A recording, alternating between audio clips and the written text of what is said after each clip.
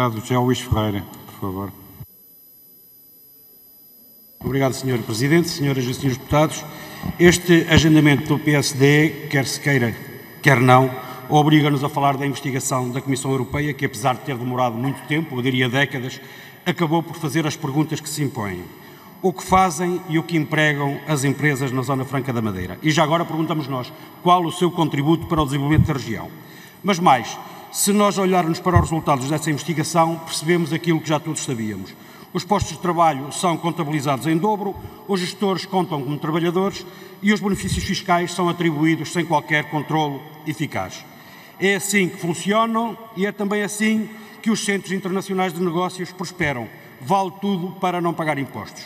E agora o PSD pretende prorrogar esta imoralidade por mais três anos e ainda por cima sem qualquer alteração ao regime legal atual. Não. Não concordamos e consideramos que, em vez de prorrogar esse regime, o que se impõe é recuperar integralmente as ajudas atribuídas ilegalmente. Mas para isso o PSD não estará certamente disponível. Numa leitura mais global, os paraísos fiscais têm contribuído e continuam a contribuir para a imoralidade e para a injustiça fiscal que vai reinando entre nós. De facto, já todos percebemos para que serve, para que servem e a quem servem os paraísos fiscais. Servem às grandes fortunas e às grandes empresas e servem para que essas grandes fortunas não paguem impostos e até escondam dinheiro. Ora, a nosso ver, um Estado não pode nem deve pactuar com mecanismos que são utilizados para fugir ao pagamento das obrigações fiscais e para esconder dinheiro.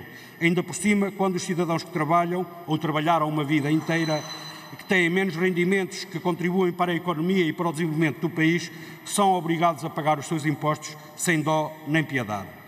Acresce ainda que a existência de paraísos fiscais é absolutamente inseparável do agravamento das desigualdades sociais, da pobreza e da insustentabilidade do modelo económico que, vai, que se vai instalando no mundo. Não estranha por isso que os verdes tenham sido sempre contra a existência de paraísos fiscais. Apresentamos inclusivamente uma iniciativa legislativa em 2019 para que o Governo tome a iniciativa de se envolver ativamente junto do, dos restantes Estados e das organizações internacionais de que faz parte, no sentido de encontrar soluções com vista à eliminação dos paraísos fiscais.